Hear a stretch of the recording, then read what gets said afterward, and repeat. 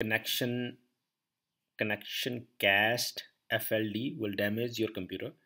This is happening on the Macs, probably on those Macs which have the Intel processors. With the ARM processors, like the Apple made processors, I don't think if it is happening. But with the Intel processors, it is happening. It is not from some other party. It is an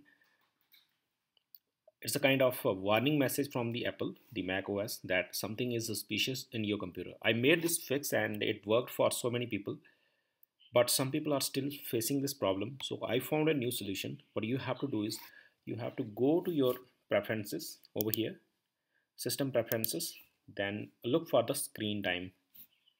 I think I have already opened it. It's over here. This is screen time. If I go back to the menu, this is like this hourglass then what you have to do is instead of unrestricted access do you have to click on this.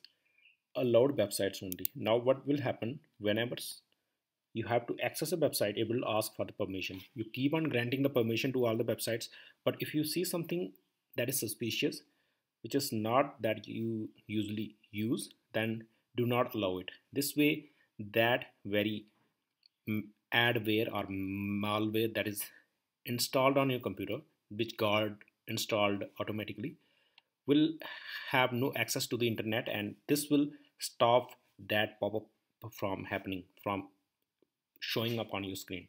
This should work. This is the final fix for this problem. Thank you